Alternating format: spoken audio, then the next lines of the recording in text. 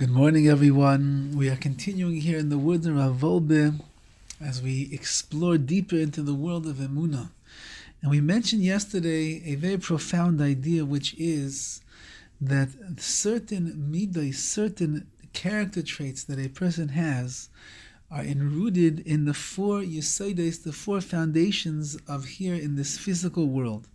And we said that that is the following that Aish, we have what's called the fire, we have ruach, we have wind, mayim is water, and ofar is dirt.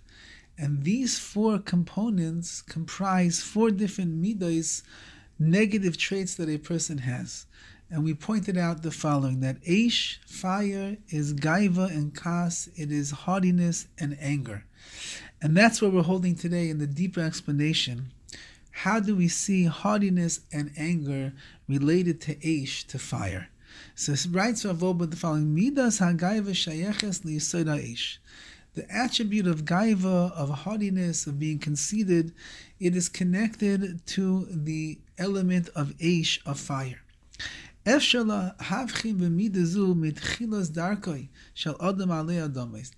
possible to recognize and discern this midah, this trait, from the very beginning of a person's way upon this earth. When a, a child begins to walk, they begin to maneuver themselves through this world. They begin to feel, they have this emotional attachment that they are responsible for their own existence. And they feel that they are actually the one who is doing and the one that is making things happen. B'meshach achayim and over the course of life, techushazu rakayleches omispateches. This feeling that they have, that they are in control, and they're running their lives, and everything that's happening is because they are deciding that it should happen the way that it does. This feeling, it continues to grow on a daily basis. Now the Ramban, Igers the Mavayr, the Ramban wrote in his famous letter to his son,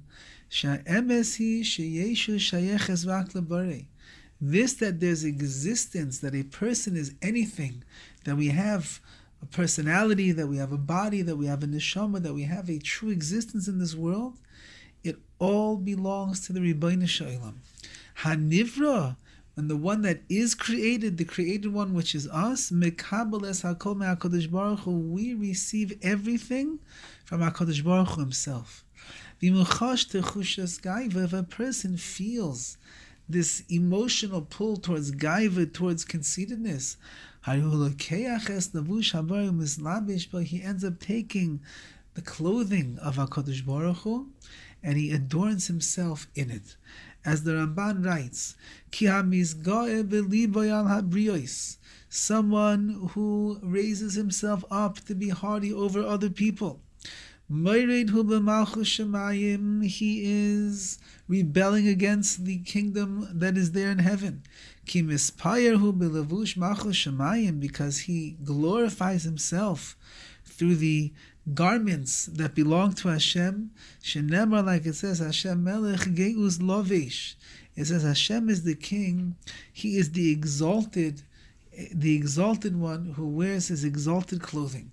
Now, gaiva, when it comes to Hakadosh Baruch Hu, doesn't mean that Hashem is haughty. He doesn't brag.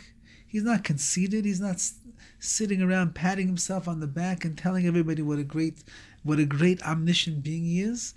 Gaiva, this that we talk about in regards to Hakadosh Baruch Hu, it refers to his exalted, lofty state in this world and the greatness in which he runs the entire universe around him. And that's what he concludes with over here.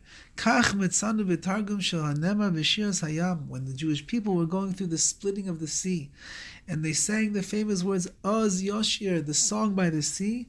One of the accolades they gave to Hashem was Ki ga'oi ga'ah. He is ga'o ga'ah. He is haughty. He is lofty. He is great. Says the Targum Onkelos over here, v'gavosa dilehi.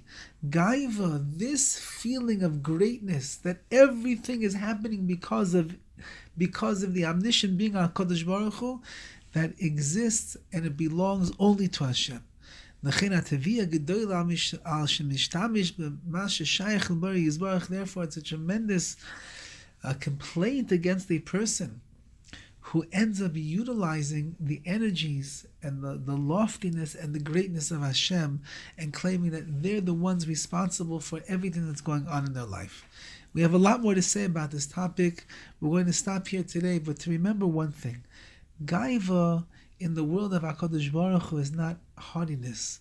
In the Hashem's world, that means his loftiness and his greatness, that he reigns supreme over the world, not in a haughty way, but that's reality.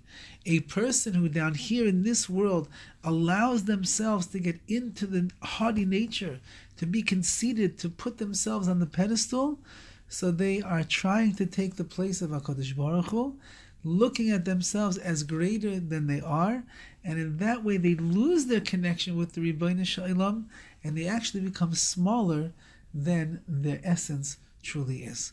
We shall continue tomorrow to see how Emuna is going to rescue a person from the clutches of gaiva, of haughtiness, and being conceited.